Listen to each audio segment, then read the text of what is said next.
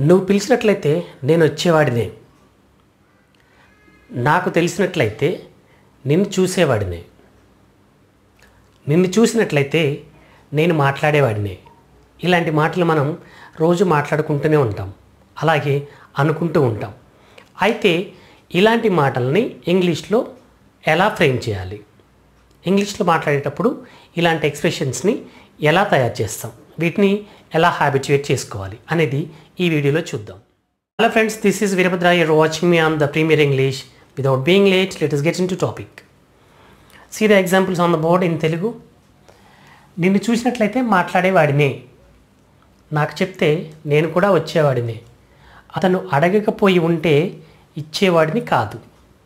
అతను పిలవకపోయి ఉంటే నేను వెళ్ళేవాడిని కాదు. ఇక్కడ చూడండి ఫ్రెండ్స్ ఒక్కొక్క సెంటెన్స్లో రెండు రెండు పార్ట్స్ ఉన్నాయి.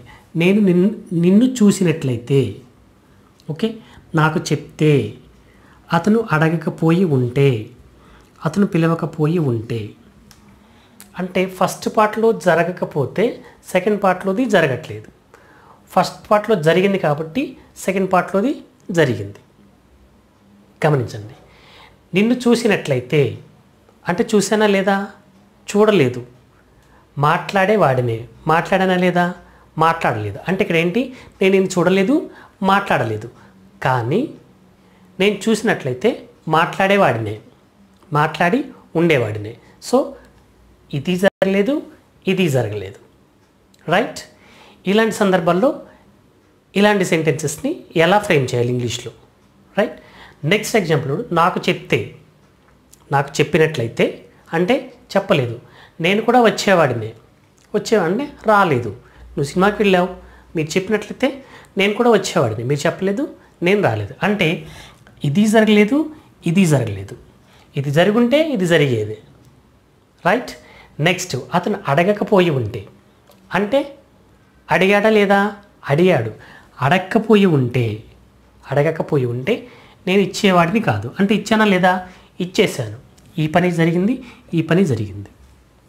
కానీ ఎలా చెప్తున్నా అడగకపోయి ఉంటే ఇచ్చేవాడిని కాదు. అంటే ఏంటి? అతను అడిగాడు ఇచ్చేసాను నెక్స్ట్ ఎగ్జాంపుల్ అతను పిలకపోయి ఉంటే అంటే పిలిచాడు నేను వెళ్ళకపోయేవాడిని వెళ్ళేవాడిని కాదు.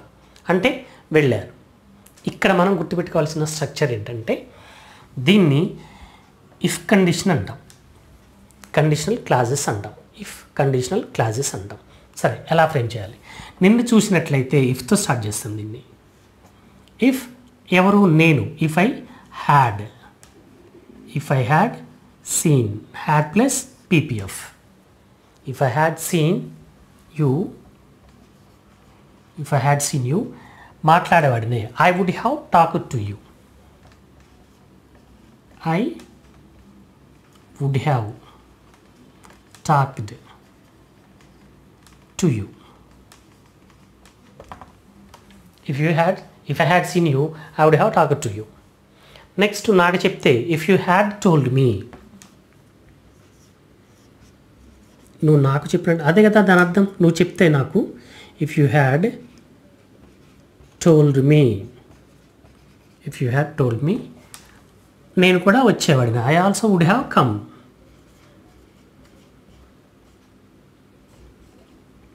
I would also have come నాకు చెప్తే if you had told me I would have come నేను కూడా వచ్చాను అంటే మీరు చెప్పలేదు? నేను రాలేదు. అతను అడగకపోయి ఉంటే అంటే అడిగాడు. If he had not asked me if he hadn't asked me I would not have I would not have given. Have plus ppf had plus ppf had plus ppf have plus would have plus ppf okay next అతను పిల పిలవకపోయి ఉండే అంటే పిలిచాడు. ఇఫ్తో start చేస్తాం. If he had not కా invited me if he had not invited me వెళ్ళేవాడిని కాదు. I would not have gone లేదా I wouldn't have gone I would not have gone నేను వెళ్ళి ఉండేవాడిని కాదు. అంటే ఒక పని జరిగినట్లయితే ఇంకో పని జరిగి ఉండేది. ఒక పని జరిగినట్లయితే ఈ అయితే అనే సెంటెన్స్ని ఇఫ్తో స్టార్ట్ చేస్తాం. ఆ తర్వాత హ్యావ్ ప్లస్ పీపీఎఫ్ చెప్తాం అనమాట చేసి ఉండేవాడిని వుడ్ హ్యావ్ ప్లస్ పీపీఎఫ్తో చెప్తాను అనమాట వుడ్ హ్యావ్ ప్లస్ పీపీఎఫ్ చేసి ఉండేవాడిని. If you had asked me I would have given you మీరు అడిగినట్లయితే నేను ఇచ్చేవాడిని లేదా ఇచ్చి ఉండేవాడిని. If you had invited me I would also have come నువ్వు పిలిచినట్లయితే నేను కూడా వచ్చి ఉండేవాడిని. Okay if you had asked me I would have given you నువ్వు అడిగినట్లయితే నేను ఇచ్చేవాడిని. Okay if you had asked your doubt I would have explain you నువ్వు అడిగినట్లయితే డౌట్ నేను ఎక్స్ప్లెయిన్ చేసి ఉండేవాడిని. అంటే నువ్వు అడగలేదు నేను చెప్పను లేదు? అడిగితే చెప్పేవాడిని. If you had asked me I would have explain you explain చేసి ఉండేవాడిని. ఇలాంటి సందర్భాల్లో అయితే అడిగినట్లయితే చెప్పినట్లయితే చూసినట్లయితే మాట్లాడినట్లయితే ఇట్లా అయితే అని చెప్పే సందర్భాన్ని ఇఫ్ సబ్జెక్ట్ హ్యాడ్ ప్లస్ పీపీఎఫ్తో చెప్తాం. తర్వాత మెయిన్ క్లాస్ అంటాం. నేను చెప్పి ఉండేవాడిని అడిగి అడిగి ఉండేవాడిని ఇచ్చి ఉండేవాడిని. I would have given I would have asked I would have played ఆడి ఉండేవాడిని. ఇలా సబ్జెక్ట్ వుడ్ హ్యావ్ ప్లస్ పీపీఎఫ్తో చెప్తాను అనమాట ఒకసారి స్ట్రక్చర్ గమనిద్దాం. సీ ద ఎగ్జాంపుల్స్ నేను సినిమా చూసినట్లయితే నీకు స్టోర్ స్టోరీ చెప్పి ఉండేవాడిని. అంటే నేను సినిమా చూడలేదు నీకు స్టోరీ చెప్పలేదు. కానీ చూసుంటే చెప్పి ఉండేవాడిని. రైట్ దాన్ని ఎలా ఎక్స్ప్రెస్ చేసాం if I had seen the movie నేను సినిమా చూసినట్లయితే I would have told you the story cinema చెప్పి ఉండేవాడిని. ఇక్కడ చూడండి. చెప్పి ఉండేవాడిని వుడ్ హ్యావ్ ప్లస్ పీపీఎఫ్ చూసినట్లయితే హ్యాడ్ ప్లస్ పీపీఎఫ్ ఈ స్ట్రక్చర్ గుర్తుపెట్టుకోవాలి. If subject had plus PPF దీన్ని ఇఫ్ క్లాస్ అంటాం. Okay would have plus PPF దీన్ని మెయిన్ క్లాస్ అంటాం. ఓకే ఇఫ్ క్లాస్లో ఉన్నది జరిగినట్లయితే మెయిన్ క్లాస్లో మెయిన్ క్లాస్లో ఉన్నది జరిగి ఉండేది.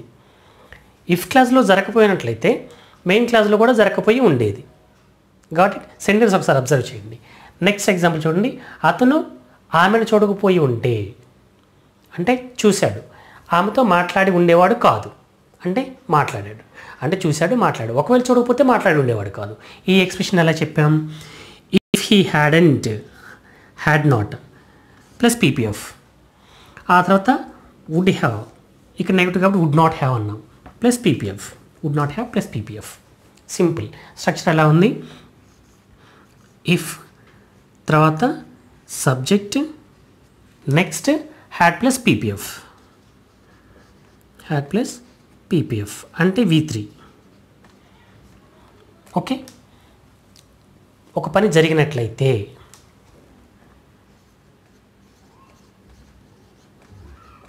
జరిగినట్లయితే ఇట్లా అయితే అని చెప్పడానికి ఇఫ్తో స్టార్ట్ చేస్తాను అనమాట దీన్ని ఇఫ్ కండిషన్ ఇఫ్ క్లాజ్ అంటాం అనమాట ifs plus subject had plus PPF if subject had plus PPF next would have plus PPF subject plus would have plus PPF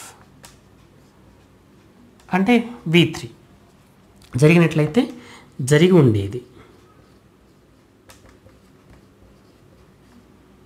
జరిగి ఉండేది అని చెప్పడం కోసం if plus subject had plus PPF అలాగే would have plus PPF ఇది సందర్భం అనమాట అది జరిగినట్లయితే ఇది జరిగి ఉండేది. అది జరగకపోయినట్లయితే ఇది జరగకపోయి ఉండేది. ఓకే అతను బాగా చదివినట్లయితే if he had studied well he would have passed అతను పాస్ అయ్యి ఉండేవాడు.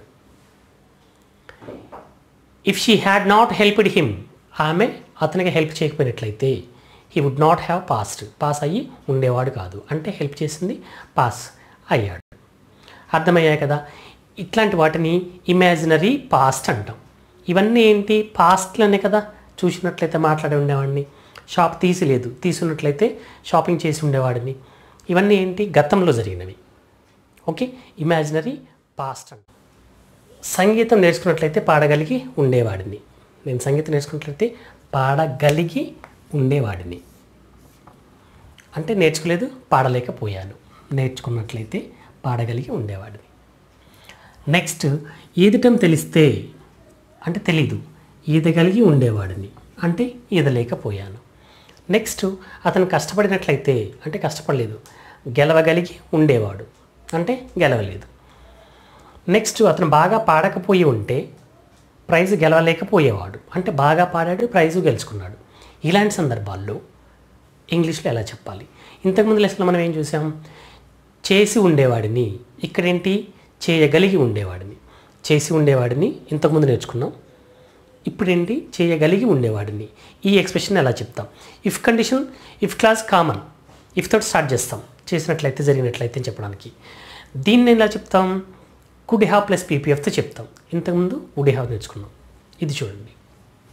సంగీతం నేర్చుకున్నట్లయితే అంటే నేర్చుకోలేదు. ఇక్కడ అయితే అని వచ్చింది కదా ఇఫ్తో స్టార్ట్ చేస్తాం.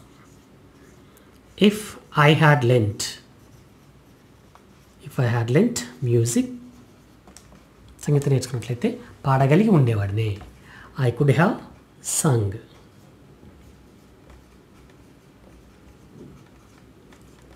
I could have sung పాడగలిగి ఉండేవాడిని. సింగ్ అంటే పాడటం. మనకు పీపీఎఫ్ కావాలి కాబట్టి సింగ్ పీపీఎఫ్ ఏంటి? Sung sing song sung so could have plus sung next నాకు ఈదటం తెలిస్తే. ఈదటం తెలియదు ఒకవేళ తెలిసినట్లయితే if I had known swimming లేదా if I had learnt swimming if I had known తెలిసినట్లయితే. నో అంటే తెలుసుకోవడం కదా? Know new known known V three కాబట్టి ఇక్కడ నోన్ తీసుకున్నాను. If I had known swimming తెలిసినట్లయితే. అంటే తెలియలేదు. I could have swum swim swam swum ఎదుటని ఏమంటాం? స్విమ్ అంటాం. I could have swum swim base form swam past tense form swum past participle form అంటే V three could have plus V three. తెలిసినట్లయితే ఈత కలిగి ఉండేవాడిని. అంటే తెలియలేదు ఈదలేకపోయాను. నెక్స్ట్ అంటే ఇక్కడ కామన్గా ఏం తెలియజేస్తుంది could have sung could have స్వంలో? సామర్థ్యాన్ని తెలియజేస్తాను ఇలా సామర్థ్యాన్ని తెలియజేసేటప్పుడు కుడ్తో చెప్తాను అనమాట ఇక్కడ వుడ్తో చెప్పలేం. ఎందుకంటే సామర్థ్యానికి సంబంధం లేదు కదా వుడ్కి వుడ్ జనరల్గా మామూలుగా జరిగే పనుల గురించి చెప్తాం. వుడ్ హ్యావ్ స్వమ్ ఇది ఉండేవాడిని? వుడ్ హ్యావ్ సంగ్ పాడి ఉండేవాడిని. అంతే. ఇక్కడ ఏం చెప్తున్నాను? పాడగలిగి ఉండేవాడిని ఈత గలిగి ఉండేవాడిని అంటున్నాను. అంటే ఎబిలిటీ గురించి మాట్లాడుతున్నాను. కాబట్టి కుడి హ్యావ్ తీసుకున్నాం అనమాట రైట్ నెక్స్ట్ అతను కష్టపడినట్లయితే if he had worked hard if he had worked hard కష్టపడినట్లయితే గెలవగలిగి ఉండేవాడు. He could have he could have won win won won could have won గెలవగలిగి ఉండేవాడు. అంటే కష్టపడలేదు గెలవలేదు ఓడిపోయాడు. నెక్స్ట్ అతను బాగా పాడకపోయి ఉంటే పాడకపోయి ఉంటున్నట్లయితే negative sentence if he had not sung not sung well if he had not sung well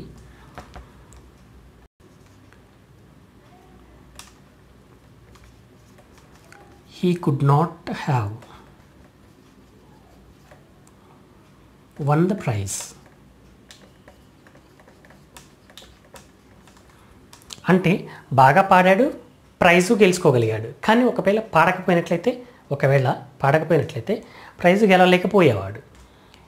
He could not have won the prize if he had not sung well బాగా పాడకపోయినట్లయితే he could not have won the prize prize గెలవకపోయి ఉండేవాడు. అంటే ఇక్కడ గెలిచాడు. గెలవగలిగాడు.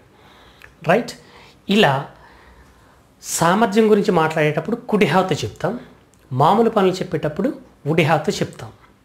Okay మీకు ఏదైనా కన్ఫ్యూజన్గా ఉండి ఏదైనా అర్థం కాకపోతే just please let me know in the comment section if you like this video please like and share with your friends If you haven't subscribed to my channel, please subscribe to my channel. Let's meet in the next video. Until then, bye bye.